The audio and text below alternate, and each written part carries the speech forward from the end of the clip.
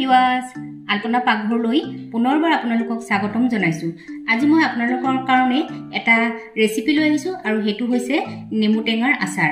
আহকচোন মই কেনেদৰে বনাওঁ মোৰ পাকঘৰলৈ। মই এয়া প্ৰথমে নেমু চাৰিটা লৈছোঁ আৰু এইকেইটা অলপ পকা লৈছোঁ আৰু পকা ল'লে আচলতে নেমু টেঙা আচাৰটো খাই খুব মানে টেষ্টি হয়। গতিকে মই এনেকুৱা চাৰিটা টেঙা লৈছোঁ। আৰু টেঙাকেইটা মই ৰ'দত ভালদৰে ধুই কৰি মই ৰ'দত দি পেলাই অলপ পানীটো যাবলৈ দিলোঁ শুকুৱাই লৈছোঁ। এতিয়া নেমুকেইটা মই ভালদৰে দুইটা মোৰ কাটি লৈছোঁ। তাৰপিছত মই এনেকৈ দুফাল কৰি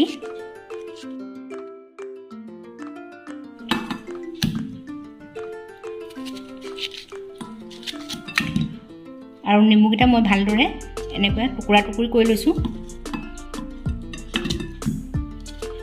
বেছি ডাঙৰ টুকুৰা কৰিব নালাগে আচলতে। সৰু সৰু টুকুৰা কৰিলে আচাৰটো খাবলৈও ভাল হয় আৰু নিমখ বা মছলা গোটেইখিনি বস্তু সোমাই যায়। এয়া মই চাওক এনেকুৱা সৰু সৰু স্কুৱাৰ টাইপত কৰি লৈছোঁ সৰু সৰু টুকুৰা। এইটো জোখত কৰিলেই হ'ব। এতিয়া মই গোটেইকেইটা নেমু টেঙা এনেদৰে সৰু সৰু টুকুৰা কৰি ল'ম।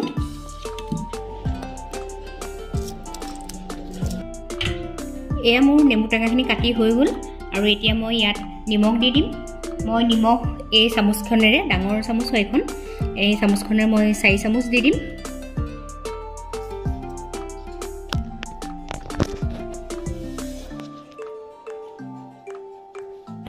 এতিয়া গোটেইখিনি মই টেঙা ভালদৰে এনেদৰে মিহলি কৰি ল'ম।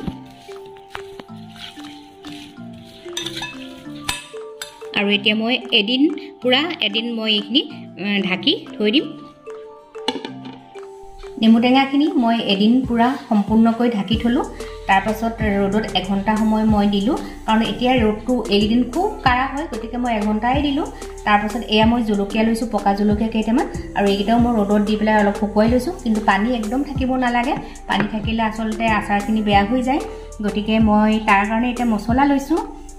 এয়া মই লৈছোঁ ধনিয়া দুচামুচ লৈছোঁ আৰু এয়া জিৰা ডেৰ চামুচ তাৰপিছত এয়া জনি আধা চামুচ আৰু এয়া কালজিৰা আধা চামুচ।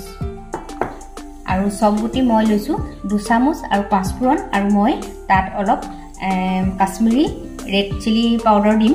কিন্তু মই সেয়া তেলতহে দিম গতিকে মই আপোনালোকক দেখুওৱা নাই। গেছত এতিয়া কেৰাহীটো পাতি মই মছলাখিনি দি দিছোঁ এয়া মই ধনিয়া আৰু জিৰা এইখিনি মই জোখত লৈয়ে থৈছোঁ গতিকে দি দিছোঁ কেৰাহীত। এয়া কালজিৰা আৰু জনি গুটি দিছোঁ। আৰু এইখিনি মই চবখিনি দি দিছোঁ চবখিনি মই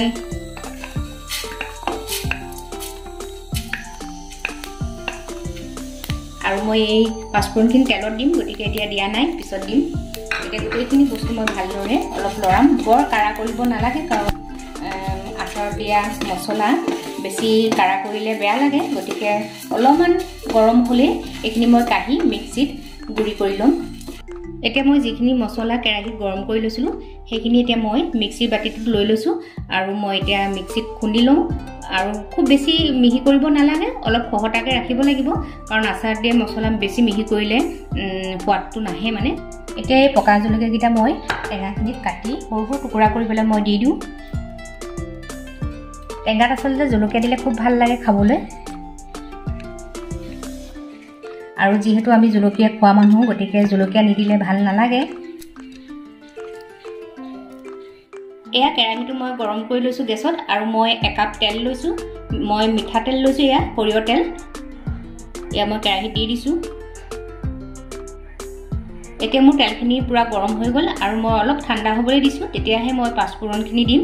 কাৰণ বেছি তেলত যদি মই গৰম তেলত দি দিওঁ পাঁচফোৰণখিনি জ্বলি যাব আৰু তাৰ ক'লা ক'লা হৈ গ'লে দেখিবলৈও বেয়া লাগিব আৰু খাবলৈ টেষ্ট নহ'ব। গতিকে মই অলপ ঠাণ্ডা হ'বলৈ দিছোঁ এতিয়া মিঠাতেলখিনি পাঁচফোৰণখিনি মই তেলত দি দিছোঁ। এতিয়া তেলখিনি অলপ ঠাণ্ডা নিচিনা হৈছে। এতিয়া মই হালধি এক চামুচ দি দিছোঁ।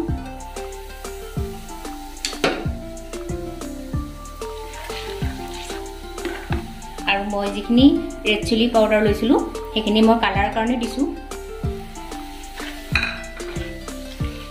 এতিয়া যিখিনি টেঙা লৈছোঁ সেই টেঙাখিনি মই এতিয়া তেলত দি দিম। আৰু ইয়াৰ তলত আচলতে বহুত নিমখৰ পানী ওলাই গৈছে মই গোটেইখিনি দি নিদিওঁ কাৰণ নিমখটো বেছিও হ'ব পাৰে। গতিকে মই এতিয়া টেঙাখিনি দি দিছোঁ। এতিয়া ভালদৰে গোটেইখিনি টেঙা মিহলি কৰি দিছোঁ। এতিয়া মই এক চামুচ নিমখ দি দিছোঁ কাৰণ নিমখ ইতিমধ্যে দিয়া আছেই। গতিকে মই একদম কম দিছোঁ এচামুচ দিছোঁ সৰু চামুচেৰে। তাৰপিছত আকৌ ভালদৰে মই এইখিনি লৰাই দিছোঁ। আৰু মই যিখিনি মছলা লৈছিলোঁ সেই মছলাখিনি যিখিনি মই মানে গোটা মছলা গুড়ি কৰি লৈছিলোঁ সেইখিনি মই এতিয়া ইয়াত দি দিম।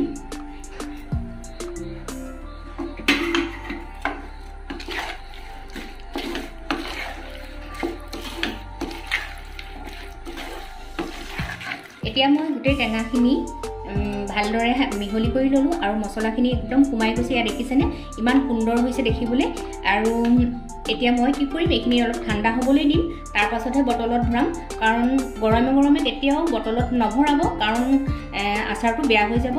আৰু এইখিনি আচাৰ আচলতে মই এদিনতেই বনাইছোঁ। আৰু সেইকাৰণে কি কৰিম? এইখিনি প্ৰত্যেক দিনাই আচলতে এসপ্তাহ সম্পূৰ্ণ মই ৰ'দত দিব লাগিব। তাৰপাছত আপুনি মাজে মাজে দিলেও হ'ব। গতিকে তেতিয়া আচাৰখিনি বেয়া হৈ নাযায় কিন্তু কণ্টিনিউ আপুনি এসপ্তাহ দিবই লাগিব ৰ'দত। আৰু এনেদৰে যেনে যিকোনো আচাৰে আচলতে অকল টেঙা বুলি নহয় যিকোনো আচাৰ আপোনালোকে সদায় গ্লাছ বটলত থ'ব। কেতিয়াও প্লাষ্টিকৰ বটলত আচাৰ নথ'ব। আচাৰ প্লাষ্টিকৰ বটলত থ'লে আচলতে বেয়া। এনেওতো আমাৰ কাৰণে প্লাষ্টিকটো খুবেই বেয়া। গতিকে প্লাষ্টিকত কেতিয়াও আচাৰ নথ'ব। সদায় গ্লাছ বটলত থ'ব। ভিউৱাৰ্ছসকল মোৰ ইতিমধ্যে নেমু টেঙা আচাৰ হৈ গ'ল। এয়া চাওকচোন ইমান ধুনীয়া হৈছে কালাৰটো।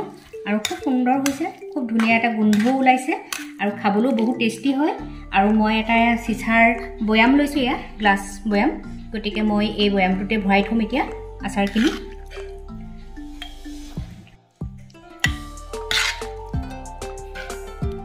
মই আপোনালোকক আগত কৈছোঁৱেই সদায় আচাৰ আপোনালোকে গ্লাছৰ বটলত থ'ব।